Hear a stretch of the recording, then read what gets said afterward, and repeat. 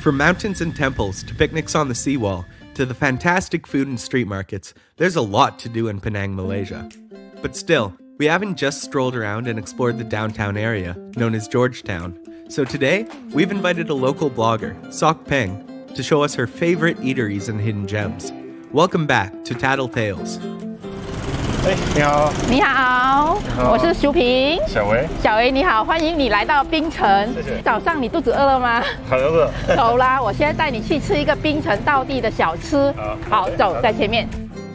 first stop of the day? a family run food stall where a young man was ready to serve us a favorite street food, just like his father and grandpa before him.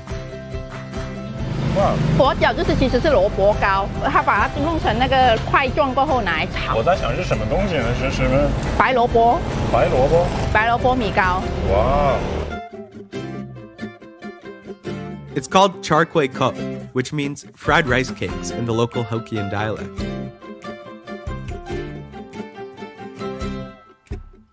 因为你想喝咖啡，我们去喝咖啡吧。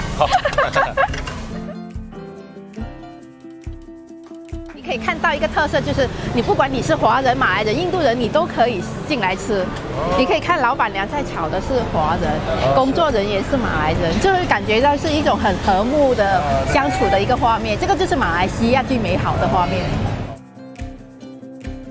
If you want to experience the true atmosphere of Penang as a traveler, then getting a traditional breakfast and coffee is mandatory. For best results, Sock Peng insists you should bring two stomachs with you. Yeah.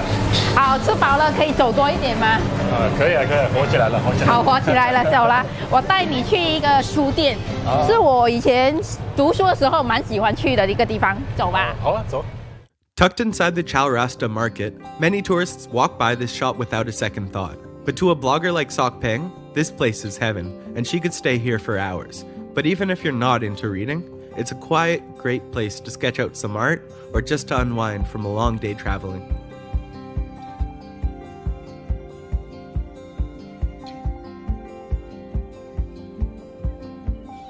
After strolling around the city center, Sock Peng took us back to her neighborhood, Balik Pulau, on the western side of Penang Island, and just a short walk away from these lush rice paddies is 2F Plus, her favorite local cafe.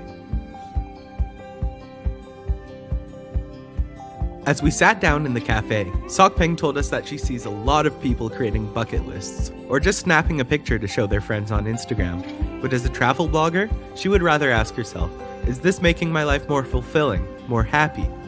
Many of the places Victor and our crew visited today are on no one's bucket list, but we still made a new friend and got to experience life as a Penang local. And at the end of the day, isn't that all that matters? Next week, we'll learn about a traditional art used to decorate both clothes and rugs in Southeast Asia. If you like this video, please click on the logo at the bottom right to subscribe, and stay tuned for next week.